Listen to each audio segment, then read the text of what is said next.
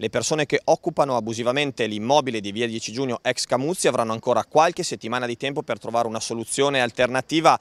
Questa mattina si è presentata la polizia municipale e si pensava potesse avvenire uno sgombero, in realtà non ci sono le condizioni per sgomberare queste sei persone, si tratta di tre uomini e tre donne che hanno trovato questa sistemazione provvisoria e sicuramente abusiva ma che non hanno davvero altro posto dove andare, ci sono situazioni molto particolari, soprattutto c'è una ragazza incinta che con il suo compagno sta cercando una nuova sistemazione, chiedono al comune di trovare un alloggio ERP, una casa popolare proprio perché tra pochi mesi nascerà il loro bambino e quindi vogliono sistemarsi.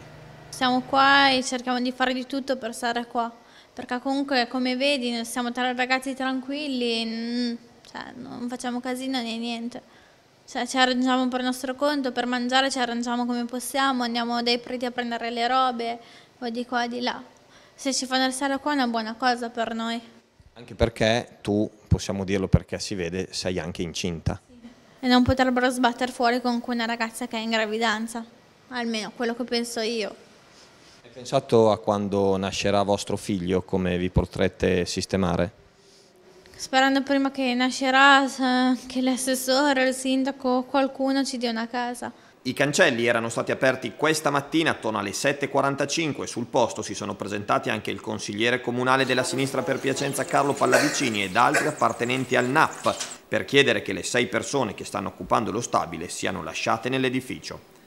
La Polizia Municipale ha poi spiegato alla ditta chiamata a mettere in sicurezza lo stabile che non ci sono gli elementi per allontanare i sei, visto che non è stato emesso né dal Tribunale né dal Comune un provvedimento in tal senso.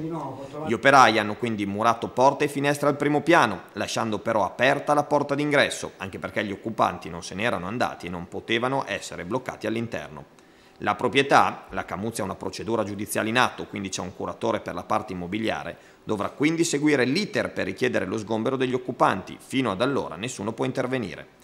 Qui viviamo senza acqua corrente, elettricità e gas, ma ci siamo organizzati bene, hanno aggiunto gli occupanti. Ovviamente se ce ne dobbiamo andare non possono sbatterci in mezzo alla strada senza casa, soldi e lavoro. Per la ragazza incinta ci sarebbe la possibilità di andare in una comunità protetta, ma non vuole separarsi da Gaetano, il suo compagno.